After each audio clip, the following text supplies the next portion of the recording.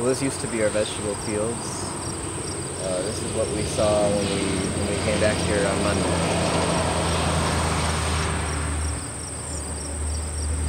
So this is where the river the river came through after it jumped its bank. It's receded from from where it used to be, uh, from where it used to be flowing on on Monday, the day after. It's gone down, but the main current of the river is still flowing through uh, through our vegetable field, which you can see over there. So that's where we used to have potatoes and tomatoes, eggplant peppers, kale, Brussels sprouts, winter squash is, is where that river is flowing through now. So, I mean, looking at this river, I mean, for those people who are seeing this for the first time, can you explain about like was the tree line where was the river The like, river used to be about a hundred yards farther back from where it is now. So it was behind. It was on the other side of that line of trees over there, and it was maybe three or four feet lower than it is now over there too. And it's now permanently changed course after jumping the bank. It was when we, when it jumped, we could hear the, the boulders rumbling underneath as the water was pushing them along, and it just it just cascaded all these boulders and river stones through our land.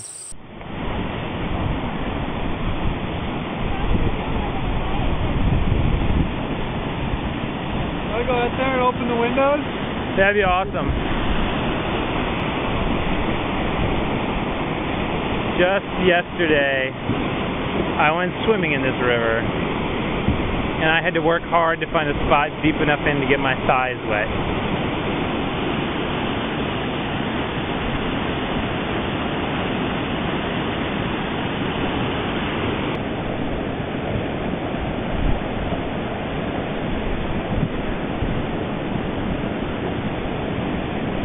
There were zucchinis right there.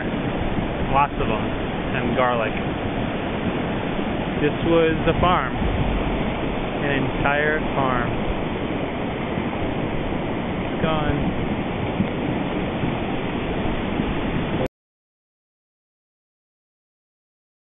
So what you're looking at now is what's what's left of our vegetable fields.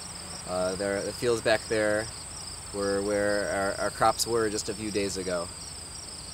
And um, what do you, um, what kind of uh, support do you think you guys are going to need and or are you getting already?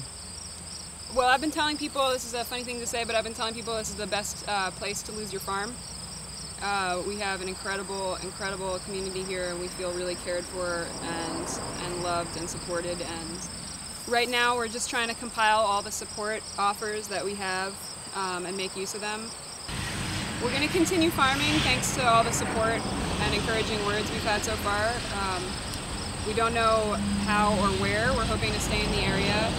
Um, so we're looking for land to, to use to farm.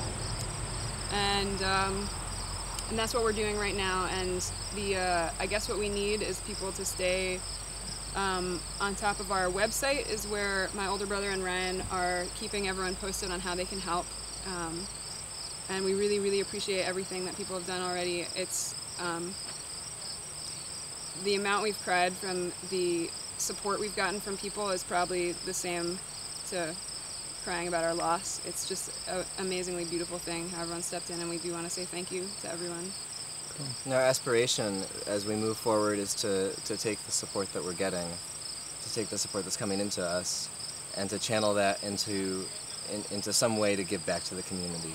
And so as we move forward, it's, it's really important for us that we stay in this community as, as we keep growing vegetables.